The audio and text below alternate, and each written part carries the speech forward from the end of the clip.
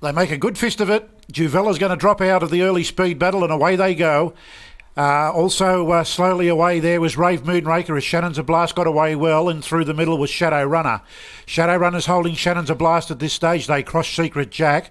Behind those then was Rave Moonraker, and dropping out was Juvella. Past Neverly R stud the first time. Shannon's a Blast puts the foot down. Bradley Elder and now extends and gets down to the pegs to lead Shadow Runner, who's under a tight hold.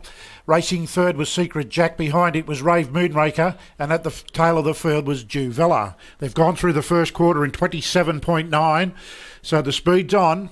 And Shannon's a blast now we'll try and uh, ease the pace as it comes down the straight. Shadow Runner wants to keen to get on with it.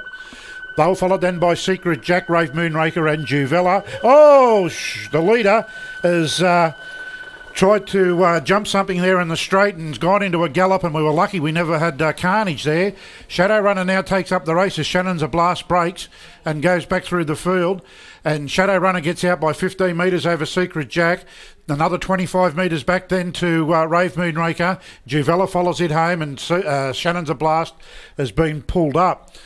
As they go down the uh, back straight now with 600 to go, Shadow Runner under a good hold still leads the way by 10 metres over Secret Jack, who's racing second. Another 15 back to Rave Moonraker, who's picking up a little bit of ground. And Juvella still at the tail. 31.7 was the second quarter. The third quarter has now come up in 28.3. And Shadow Runner extends its lead now on Secret Jack.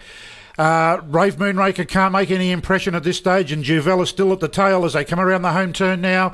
And Shadow Runner and Chris Geary comes up to. Uh, the uh, winning post here, and uh, it's a mile in front. Shadow Runner taking advantage of that uh, misdemeanor from Shannon's a blast, and Shadow Runner comes down to the line. He's going to run some good time here. Hits the line strongly in 156 and change last quarter 28. Wins by 25 metres over Secret Jack.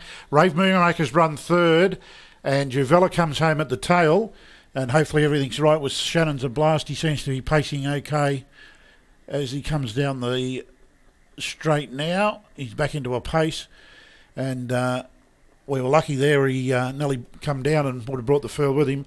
Overall time 156 neat, last quarter in 28.